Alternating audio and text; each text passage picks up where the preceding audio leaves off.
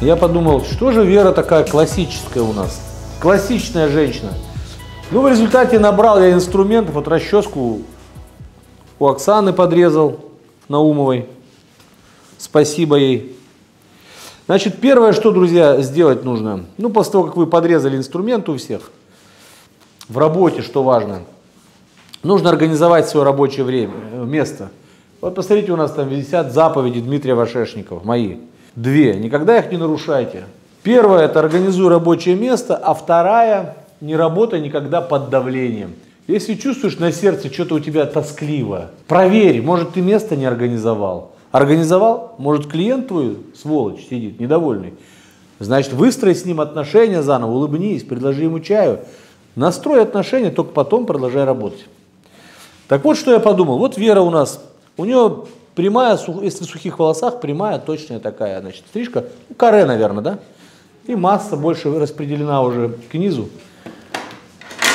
А я говорю, Вера, давай, может, тебе чуть поднять, ну, как-то помоднее, подвижовее, но на лице оставить, лицо, лицо, волосы на лице оставить. Она говорит, ну давай. А я не стриг уже. Когда ты говоришь, я последний раз стриг? В 2020 году, да? На мастер-классе. Нет, я еще проводил эти, как это называется, наши лаборатории. лаборатории. То есть я разрабатываю формы в Диметриус до сих пор. Но как инженер, как человек, который понимает, как это все устроено. Их до чистоты допиливают, до идеала доводят тренеры. Всегда работайте с кобурой. Никогда не работайте вот так вот бегать туда-сюда. Всегда нужно организовать рабочее место, друзья. За день сколько раз вот так движение сделаешь? И ступня устанет, и икра устанет, и спина устанет. Всегда стой ровно прямо. Еще на, э, на тележках есть вот такие дырочки. Если уж нет кобуры, то нужно вешать ножницы туда. Нельзя их класть. Они полотнами бьются и тупятся. Но это то немногое, что я помню из своего парикмахерского опыта. То есть я как инженер, еще раз, сейчас как инженер просто выстраиваю форму. Ее потом наши, наши тренеры, по идее, да, как это бывает, они потом допиливают эти формы. Ну, я пока ее выстраиваю, исходя из того, что я вижу. Я знаю, какую форму я хочу. Я хочу затылок, чтобы был текстурный. Я хочу, чтобы была длина на лицо, чтобы не было массы. Вот у нее здесь большая масса, вот здесь вот. Большая масса вот здесь. Я хочу эту массу убрать, затылок поднять, чтобы была текстура здесь, и здесь тоже все было легкое. А у лица практически сохраните. Масса, которая у него у лица, меня устраивает. А вот которая на затылке масса, и тут меня не устраивает. И как человек, который все-таки разработал технику стрижки Диметриус, я знаю, ну, как этого добиться, но исходя из того, что есть уже у нее на голове. А я даже не знаю, что у нее на голове, я только сейчас смотрю. И то есть я буду сочинять работу на ходу, просто владея техникой. Есть три, три уровня развития мастера, друзья, три уровня. Вообще развитие в мастерстве. Уровень первый – это имита, э, имитация, да. Уровень второй э, – интерпретация. Уровень третий – импровизация. Имитация – это что такое? Посмотреть у другого и повторить. Многие застревают на этом уровне. Они только посмотрели и повторяют то, что они видели. Один раз я выступал в Питере на одном большом, ну, в, в Питере на, на, на, на, на стенде, значит, на Невских берегах, по-моему. И мне один технолог говорит, я его уважал, думал, что он классный, сильный мастер. Он мне говорит, я одну стрижку такую знаю, он мне говорит, сейчас тебе покажу, вот так, вот так отрезать. И я понял, что он еще не крутой. Он рассуждает как человек, который знает какую-то стрижку. Он еще на первом уровне, на уровне импровизации. Вернее, на уровне имитации. Он просто знает какую-то стрижку, как ее срезать и, как, и чтобы ее повторить.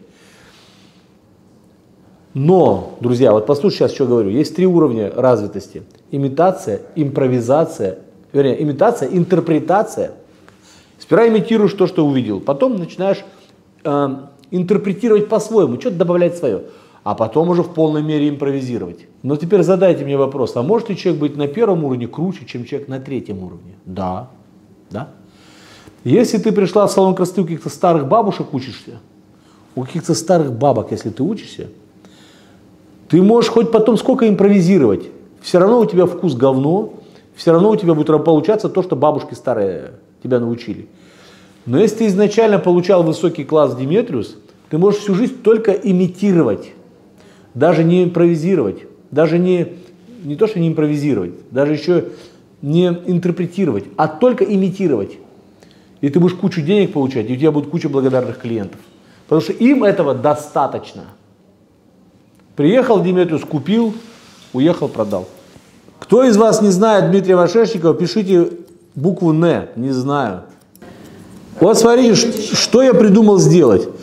Я вижу, что у нее как бы ножка, это ножка называют. Это не ножка, вы поняли, кто, кто типа по старой советской схеме учился, на затылке есть. И я ее оставлю. Более того, я параллельно разобранному пробору сделал ребро жесткости прямо на расческе. Только чуть-чуть просто, чтобы была точность. И дальше э, в сведении на нет. Это называется техника сведения на нет. Вот так вот это делается. От верха иду вниз, от массы к нулю. Это называется сведение на нет. Но я учитываю, что у него волосы растут вот сюда, поэтому подтягиваю против роста волос. И вообще всегда иду от самого, от пробора. И вот в сведении на нет свожу на нет. Но не прямо на нет свожу. Эта техника называется сведение на нет. Чем отличается от тушевки? Тушевка снизу вверх идет. Сведение на нет сверху вниз идет. Как сверху вниз? Вот так вот подхватываешь ножницами, вот. Вниз отчесал, снова подхватываешь и сводишь лишнее.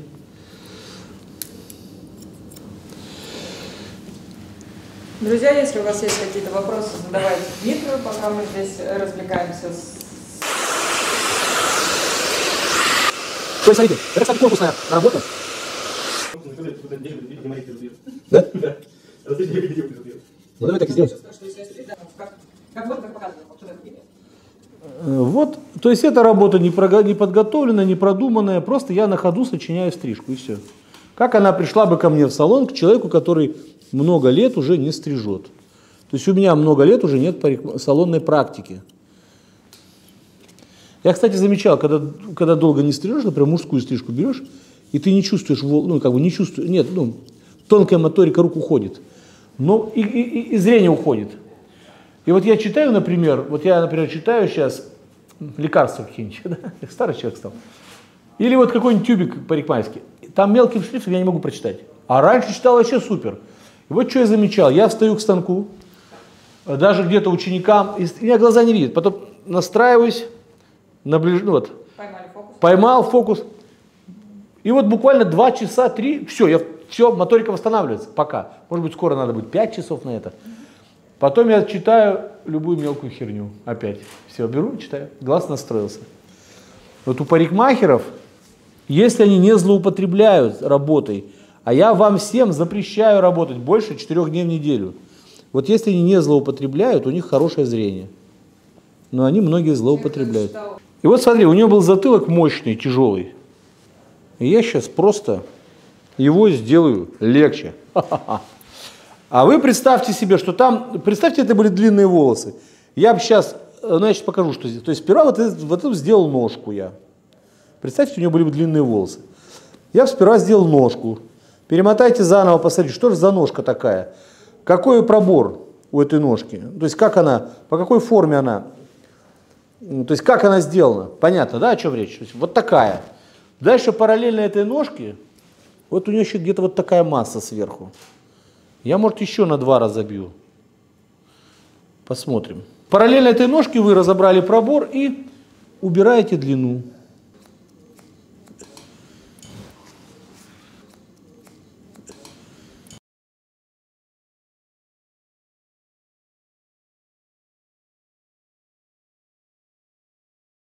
Вот я думаю сейчас, вот смотрите, помните, да, я оставляю длину у лица полностью. Вот я на нее вышел.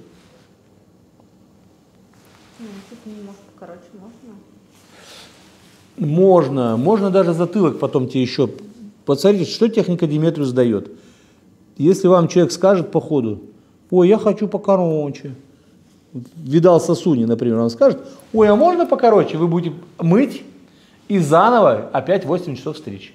А здесь я блок разберу просто прямо по сухому, даже машинкой его сведу на нет, вот здесь, машинкой сделаю короче затылок, и эту еще подниму короче, например. Это займет там опять Ну, там еще меньше будет, чем было. То есть я ее сейчас... Вот если не, не разговаривать и стричь, ну, 25 минут времени, наверное, я ее постригу. Но я еще на ходу сочиняю стрижку. Поэтому я оставляю себе условно типа час. Теперь что я делаю? Смотрите. У меня есть длина, я длину не трогаю. И я просто с оттяжкой немного на затылок, шаг сантиметр, градуирую прядь. Длину оставляю, убираю лишнюю массу. Видите, вот эти волосы, вот она длина. А вот эта масса, я ее убираю. Чуть-чуть оттягиваю на предыдущую прядь на затылке. Шаг шире,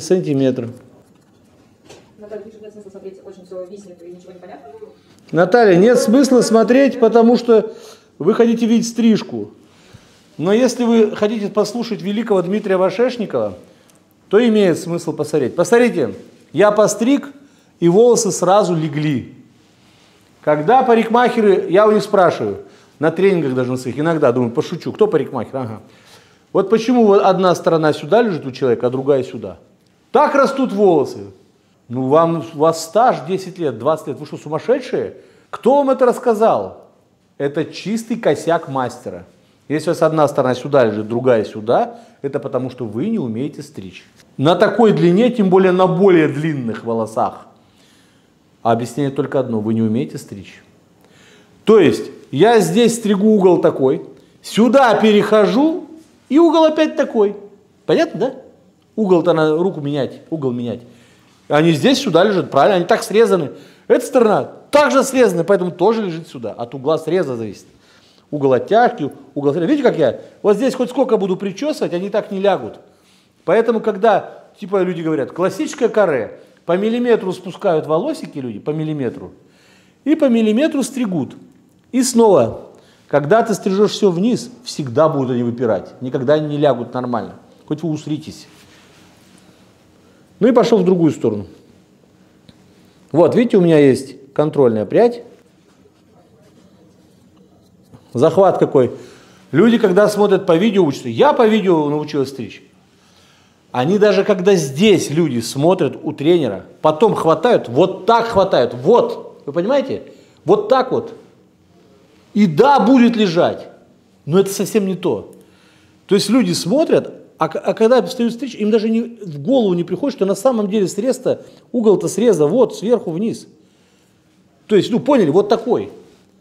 И после даже демонстрации тренера я захожу в зал, многие мастера по-прежнему интуитивно как-то, бессознательно. Я уже говорю Лене Марии, Лена, почему так-то? Она говорит, а потому что, у нее есть какое-то объяснение у Лены Марии, сейчас я забыл какое, пытаюсь вспомнить. Ну, по, ну, потому что как-то интуитивно им это кажется правильно. Ну, потому что до этого так скреплено, наверное. Но тоже почему-то интуитивно, правильно так кажется. Мне кажется, если вы то никого не значит, все поэтому какая-то бессознательная логика. Друзья, если о чем говорить, то. Я вот, кстати, у меня, кстати, еще пока что они не легли как нужно, но я сейчас все равно добьюсь, чтобы они легли как нужно. Потому что я понимаю, где это, в каком месте это исправлять. Ага, вот уже видите, ложатся. Я срезал, они все равно, видите, сюда лежат. Но это, это мой косяк, я ни на кого валить не буду. Но еще раз говорю, что я длительное время не стриг. Я сейчас найду, где этот косяк, где это в срезе. А в срезе это где-то вот здесь вот. Вот, и они у меня лягут все равно.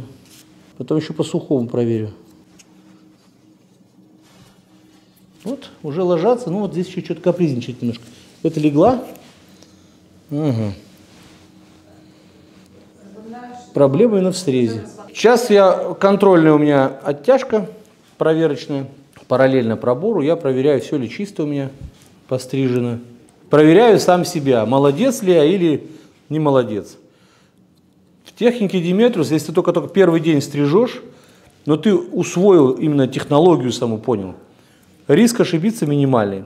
Риск прямо накосячить вообще сильно минимальный. Это, знаете, сколько я видел таких случаев, когда люди без техники, девочка приходит с такими волосами, уберите, говорит, сантиметр, достригли вот до такого. А почему? Например, отсюда начинает человек стричь, а она у него на удлинение пошла.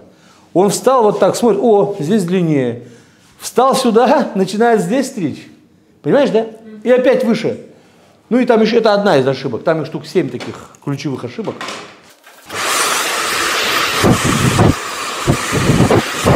Нагрев у меня всегда максимальный. Ну и почти всегда. Дальше. Это все концы друзья. Задача какая, чтобы волос был вытянутый, видите? Только тогда я могу пробивать их с понтингом. Или как это называется уже? Я... Пойтинг. Пойтинг. Потому что... Поинтинг. Поинтинг. Потому что если волос не протянут, а у большинства людей волосы вообще не вытянуты, фотки посмотрите свои собственные ВКонтакте. Вот так лежат, все концы вот куда-то завернуты. Или это сюда лежит, это сюда. Или что-то вот, вот так накрутили на башке. Ну это дешево. Это не то, что дешево, это отвратительно. Волосы должны лежать прямо, потому что это дорого, потому что это сложно сделать. Очень легко волосы уложить кренделями, а ты уложи их прямо, чтобы лежали. Не можешь, поэтому кренделями наворачиваешь, чтобы косяков не было видно. И потому что пошлый колхозный вкус. Кренделей навертеть – это пошло. Но это не объяснишь. Просто нужно, просто нужно верить тем, кто, кто крутой. Вот просто поверьте мне и все. Смотрите, мне еще кажется здесь густовато, видите? Что нужно понимать? Если в горизонтальной оттяжке ты вот так пробиваешь, уходит длина немного. Если нужно, чтобы тебе на концах ушла густота, то должна быть вертикальная оттяжка. Вот так, шаг сантиметр. Можно вот так взять, раз в расческу, и расширить прядь, и пробить уже. Очень важно, чтобы пальцем только большим двигать. У меня тоже это трудно удается, потому что я, меня плохо учили, вернее, я вообще нигде не учился стричь, и поэтому мне руку не поставили. Я потом уже понял, когда стал старше, но уже привычки сохранились. Но от своих тренеров я требую, тренеры у нас, кстати, у них руки поставлены, я требую, чтобы они ученикам ставили, чтобы не тряслись у них, чтобы они не всей рукой, а только большим пальцем. Но сам это я не овладел, потому что я, мне пришлось самому все это проходить на своей шкуре. Но это плохо, потому что это лишает точности работу. Здесь, э, значит, задачу я мог решить по-разному. У меня была дилемма. То есть, понятно, либо мощный затылок, ну, я решил текстурный, понятно, нет? Короче, вот, вот как я сейчас делаю, мы в тех кидеметах можем сделать по-разному. Ну, вот я решил так. Вы знаете все, что мы стрижем обычно в каре каждую прядь длиннее предыдущей. А здесь я делаю эту прядь короче предыдущей. Зачем это нужно мне? То есть, видите, я оттянул вверх и оттянул еще от центра. Видишь, это у меня сохранилось. Длина. Это, да? Вот она сохранилась, я чуть подберу сейчас еще. Вот длина, вот сухие, видишь, сухие, а вот сырые. Е- смотри, вот если я внизу оттянул, обычно каре мы стрижем вот так. Вот было бы как. Это было бы под каре. Понял? Но я на оттяжке не на нулевой делаю, а поднимаю волосы. И у меня что получается? Сырая прядь длиннее предыдущей сухой пряди. Поняли или нет? Вот у меня под рукой сухая, сухая прядь, я ее вижу.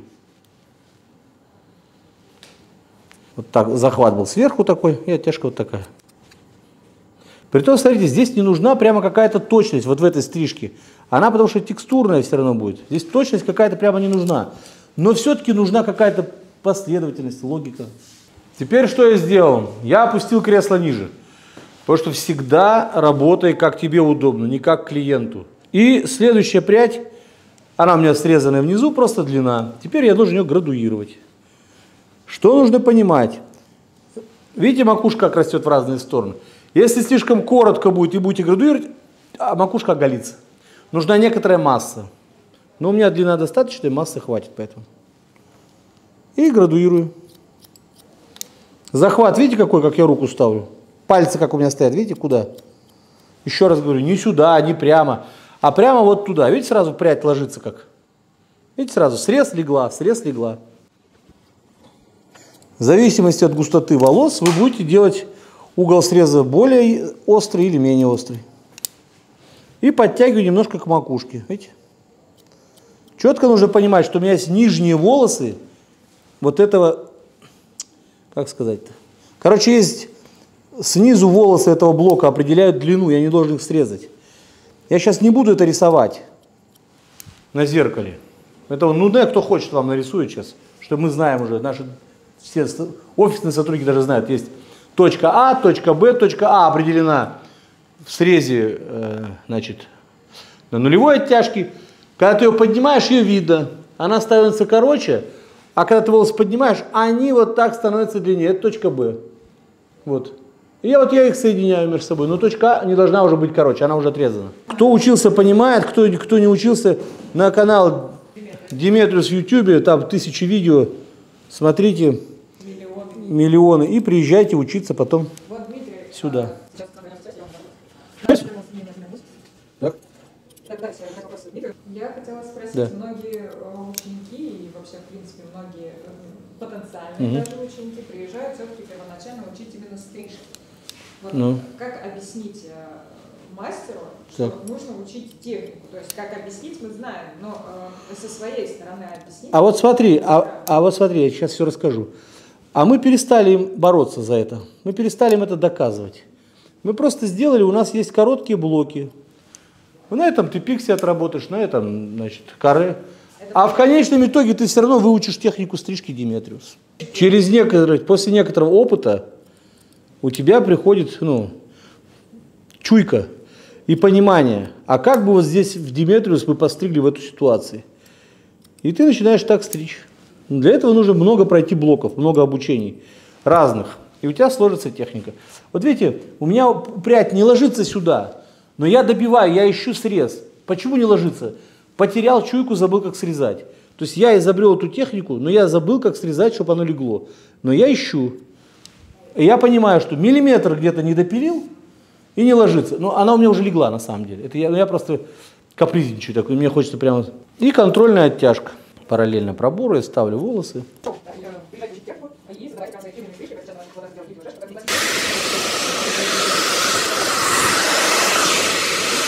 Как я держу прядь? Вот с этой стороны. Вот стой. Предыдущую прядь я даже не бросил, я держу ее в руке, видите? Ну, видите, держу. Сто лет, сто лет не стриг, чтобы не спуталась, чтобы не упала сюда. Потому что я еще продолжаю вычесывать. Вот теперь могу бросить. Это не обязательно так делать, я так делаю. Видите, опять держу. Видишь? Вот она мне. Ну, как бы она мне, вот, чтобы не мешалась просто. Вот так расческу взять можно и расширить, видите? И мне теперь легче пробивать. Шаг сантиметр максимум, ну, пол- полтора, может, я могу себе позволить. То есть чем тоньше шаг, тем больше контроля. Вот я ее так развел, прядь расширил. Еще сейчас это расширю. Оп. Видите? И пробиваю. Сейчас я ее сочиняю, но если бы я вторую делал стрижку такую, я думаю, что я бы справился условно там За 10 минут. ну, может быть за 24. Ну вот я просто знаю опыт свой, я знаю, как я стриг. Да. Я очень хорошо чувствую время, друзья, кстати. Это у меня развито, это не рождел, я не родился таким. Но я очень хорошо чувствую время. Дмитрий, а сколько у вас клиентов было в день, когда вы работали в парикмахерской? 14, 16. Каждый день? Притом 3-4 окрашивания я делал. Я работал, во-первых, очень быстро. Во-вторых, у меня, я одного стригу, двое еще сидят в краске. И вот так вот. Я, щас, я учу, что сейчас так делать нельзя. Но почему я имею право так учить? Потому что я это прошел. И я очень люблю мастеров, ценю, которые этот пу- путь прошли.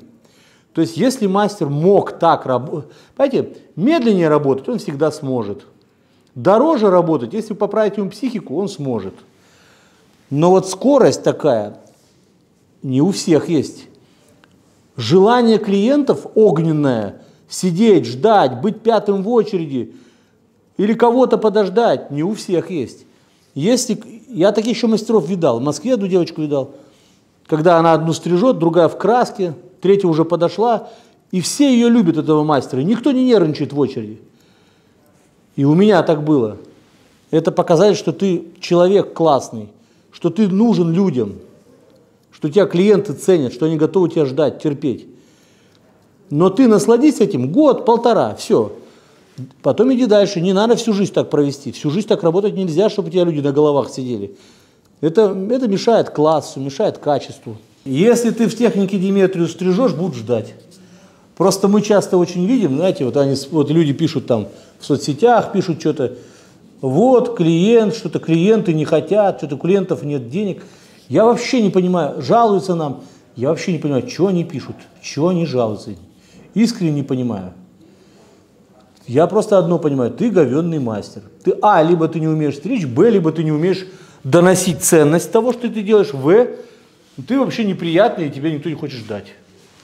Или у вас в Ты Москве- некрасивый. У вас в Москве-то, конечно. У вас в Москве-то, клиенты, конечно. Да, да. Да я бы в любой деревне у меня бы жили, ждали бы. Просто надо быть интересным, чтобы тебя ждали. Пожрать несут, им это ценно, а вы им не ценны. А и вы это сами разрешили. У вас сердце не болит из-за этого. Вы сами такие же. Вы не в Диметриус деньги несете на учебу, вы пожрать деньги несете, правильно? Я еще не про каждого из вас, но так в целом, про 90% парикмахеров. Ну, Как вы относитесь к жизни? Ну, не 90, наверное, 80% парикмахеров таких, да, ну 90% людей. Как вы к жизни относитесь, так и, жизнь, так и другие к вам относятся. То есть, если человек жалуется, он сам такой, значит. Он это видит, потому что его глаз это цепляет. Потому что он сам такой. Подобное познается подобным. Рыбак и рыбака видит издалека, понимаете? И когда люди говорят, вот у наших людей денег нет, это у тебя денег нет, потому что ты херовый мастер. И не рассказывай мне, что у людей денег нет. Смотрите теперь. Вот есть блок. Вот он ранее постриженный. Вот сухой блок. Соединяю. В оттяжке на затылок соединяю. И одновременно градуирую. Во-первых, они у меня соединены были, они, во-первых, у меня были соединены в горизонтальной оттяжке уже, поняли, до этого. Потом, помните, я сырую сводил. Во-вторых, я в вертикальной оттяжке сейчас тоже соединяю. И это еще не все. Я еще пойду сейчас градуировать эту прядь. Видите, вот так вот раз. Всегда захват на пробор, всегда на пробор. И это, нулев... это А точка, она у меня остается, я ее не трогаю. А точку Б, вот она, я ее смещаю, градуирую прядь. Видите, как я ее резко градуирую? Сильно достаточно. То есть у меня сильная оттяжка наверх. Пальцы сильно разворачиваю, видите как? А зачем я градуирую? А чтоб легкие были волосы, чтобы у лица тоже были легкие. И чем ближе к лицу, тем меньше градуирую, оттягиваю на затылок. Потому что как раз у лица у меня практически все устраивало. А мне не устраивала плотность вот здесь. И вдумайтесь, как я говорю. Меня не устраивало не Веру, нашу сотрудницу, а меня. И я вас так учу. Вы должны как мастер говорить клиенту, меня это не устраивает здесь. Вот как у вас здесь волосы лежат, меня не устраивает. Они, они, вам хорошо? Ой, хорошо. А еще интересно, постриг человек клиента, говорит, ну что, как вам понравилось? Зачем ты это спрашиваешь? Конечно, понравилось. Ну, человек может сказать, а что скажешь, не понравилось? Как? Ну так. И теперь обос... После этого вопроса клиент начинает Э. Конечно. Знаешь, человек сомневается сам, что он сделал хорошо. Человек говорит, ну так, теперь мастеру как будто в душу насрали. Ну зачем так спрашивал-то? А я скажу, в чем, в чем проблема. Почему вы так спрашиваете? А, не уверены в себе. Б, работаете для клиента. А работать вы должны не для него. Это задача есть такая, чтобы ему понравилось. Но надо жить сверхзадачей. А сверхзадача так звучит. Вот Вера пойдет по улице, к ней подойдут, спросят, у кого она стриглась. Мой телефон спросит или нет. Я должен думать об этом. Так, что еще доделать? Блядь, классно я сделаю. Люди со стороны посмотрят. Люди же некоторые понимают же. А вдруг у нее друзья есть модные, из которые вообще крутые, блин. Что они подумают? Бля, классно, не классно? И насрать мне ей нравится, не нравится. Я для других стригу. И вот когда я сделал классно, все, сейчас она пойдет, вот кто у нее модные, те поймут, все. Все, пока, давай приходи в следующий раз тогда, тогда. Все, я не буду спрашивать, понравилось тебе, не понравилось. Я буду говорить, посмотри, как надо укладывать. А когда будет отрастать, будет текстурка, будешь вот так. А сталинги лучше такие. Я буду вот так закрывать сделку, на этих фокусироваться вещах. А не на то, понравилось, не понравилось. Учитесь. Еще раз теперь, как делают неправильно? Как я смотрю этих людей? Чемпион мира, не буду называть имя, встал вот так, голову привинтил на палку и вот так стрижет. Вот стоит здесь, стрижет вот так, вот так сверху, на руке вот так, вот так. Мы так не стрижем. Вот, смотрите, всегда в кисть. Всегда я двумя глазами должен видеть, где работа. Вот соединил два блока. Вот стереозрение, это вот когда вот здесь, между двух глаз, и я вижу, ага, форму вижу, объем вижу. Сместился, Все, исказилась форма. Понимаете, о чем я говорю? Когда я сзади краевую линию стригу, вот я как стою, вот стригу. Вот как стою. Прямо стою, смотрю. Если я стану сбоку, эта часть будет короче, это будет длиннее. Уведу. С этого богу стану, сюда уведу. Если я вот, вот так буду стричь, а оттуда сюда как? Как оно ляжет вообще? И вот этот чемпион учит людей. Но ты талантливый, ты умеешь делать, ты это сто раз сделал, у тебя получилось, легло. А где нет, скажи, выключи камеру, Серега. Раз, раз, раз, что-то постриг там. Ой, легло. А как ты человека научишь? У него этой чуйки нет, этого опыта нет, и камеру выключить не получается. То есть я соединил, теперь просто градуирую. А зачем градуирую, вспоминайте? Потому что мне висок нужен потоньше.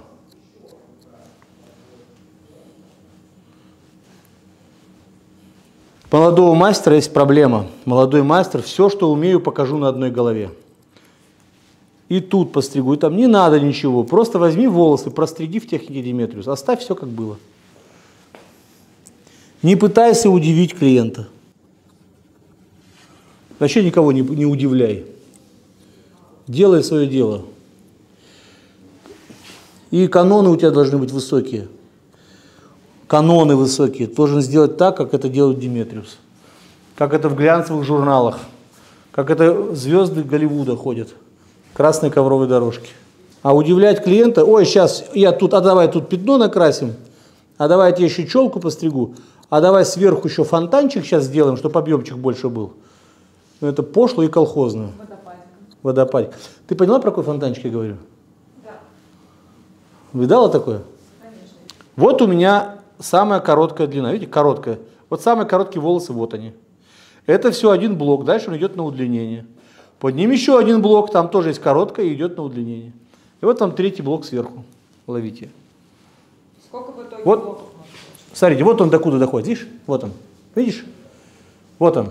Можно прямо отсушить сейчас как есть, и будет круто. Вот как есть, можно отсушить, и будет круто. И вот я сделаю вот так вот, смотри. Вот. С оттяжкой на затылок я уберу буквально сантиметра.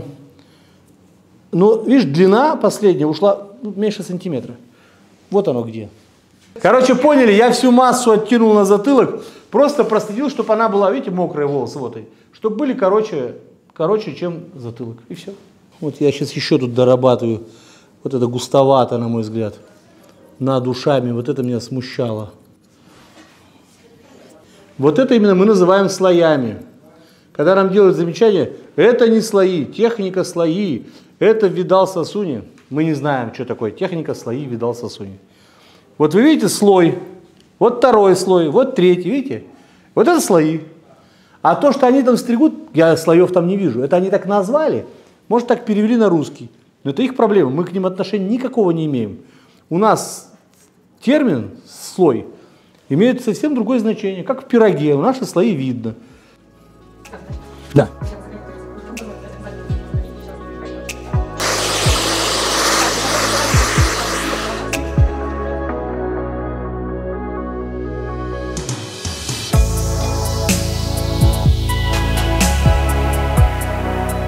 Если вы работу отсмотрите внимательно, она примитивная. Я ее сочинял на ходу, ну, понимая, что было до этого, потому что до этого была Диметриус техника. И это все не нарушает никак технику Диметриус, это техника Диметриус и есть. Просто это какие-то вот, как пришло в голову в моменте. Вы если посмотрите заново, даже так в быстрой перемотке, вы легко сможете повторить это сделать. Это примитивная простая стрижка. Все действительно крутое, оно простое. Где просто там ангелов соста, где мудрено, там ни одного. Вот. Когда вы действительно поняли, то это просто. Когда вы видите заморочки какие-то вот в мокрой масти, тянут, стригут маленькими ножничками, час, два, три, об этом что-то много говорят, а потом расчесали, а там обычный какой-то горшок некрасивый, провисший. Выдавая это за искусство, вас обманывают. Искусство делается легко и просто.